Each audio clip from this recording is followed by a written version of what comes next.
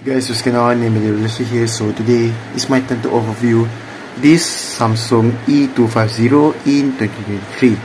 So without further ado, let's get started. Let's go. Samsung SGH E250 was released in 2006. The phone still works, but I don't have a charger for this, and also I forgot where do I put my universal battery charger. Starting from the top, we have a screen 2 inch with TFT display 128p resolution. At the top we have a core receiver this hole and it has a Samsung logo. At the bottom we have a button. When you slide up it has a fully keypad button with numbers. And this hole is for the mic. Now we're on the back side. top we have a Samsung logo and this thing is for the grip to opening the battery cover.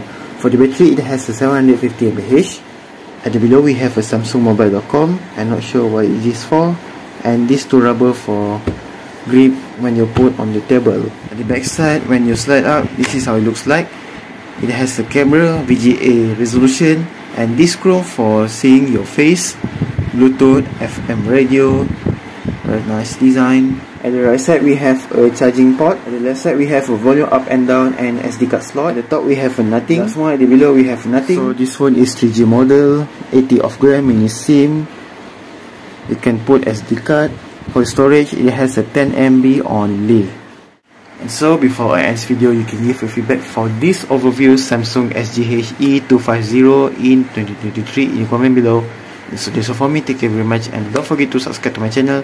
See you on next video. Goodbye and have a nice day. HE250 in 2023. Oh.